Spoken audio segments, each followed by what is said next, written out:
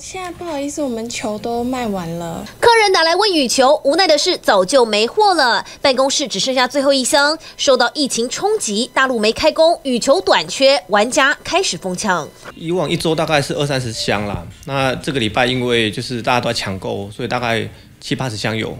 大陆羽毛球出口占全世界九成，平均一场比赛会用到五六颗球，属于消耗品。光是制造就要三十天，运到台湾要十天。如果迟迟不开工，就会有空窗期出现。到中国的那个餐厅都没有人去餐去去吃了嘛？对，所以那个毛毛片量也会减少。那毛片如果做好之后，那它要从毛片厂运到我们的工厂里面制造。问题是中间这段运输的司机。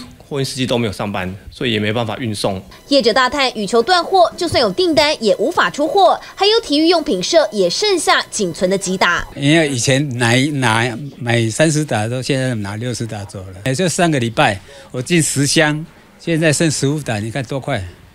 十箱剩三百打，剩十五打。不光是如此，冲击的还有鞋业，因为大陆是制鞋材料出口大国，呈现半停工状态。而东南亚的生产据点，业者原料库存最多两个月，如果疫情持续扩大，将面临短缺危机。就连 Switch 零件生产也卡在大陆。这个有没有说最久要等到多久啊？